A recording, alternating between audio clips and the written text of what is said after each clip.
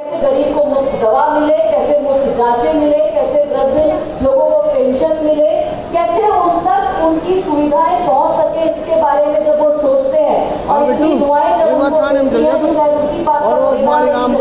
बयान दिया। पिछले लगभग ग्यारह सालों से दो बजे और इतना बड़ा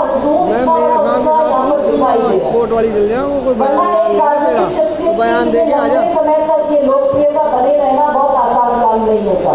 लेकिन अगर लोग नहीं किए तो उनकी कार्रवाई तो जी जी बात चल रही है पिछले अठारह उन्नीस वर्षों से लगातार जुड़ी रही। खुद भी ब्लड डोनेशन करती हूँ खुद भी रेगुलर ब्लड डोनर हूँ। लेकिन मुझे इस तरह का ब्लड डोनेशन देखना बहुत अच्छा लगा।